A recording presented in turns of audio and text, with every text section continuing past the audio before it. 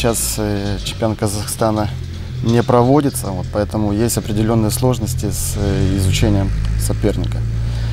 А вот, по слухам, я знаю, что они играют товарищеские игры. Э, но я думаю, все равно будет, будет сложно какую-то добыть информацию. Значит, в плане того, что Астана, ну, хорошо, что домашняя игра, во-первых, но, к сожалению, не будет зрителей.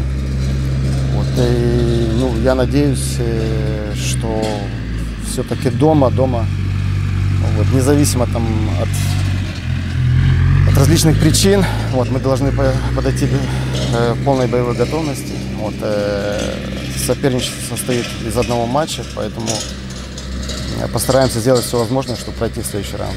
Мы готовимся к перенесенной игре чемпионата со Слуцком, который состоится 12 числа. Вот, постараемся максимально э, собрать хоть какую-то информацию об э, Астане. Ну, понятно, что это чемпион последних э, э, лет в Казахстане.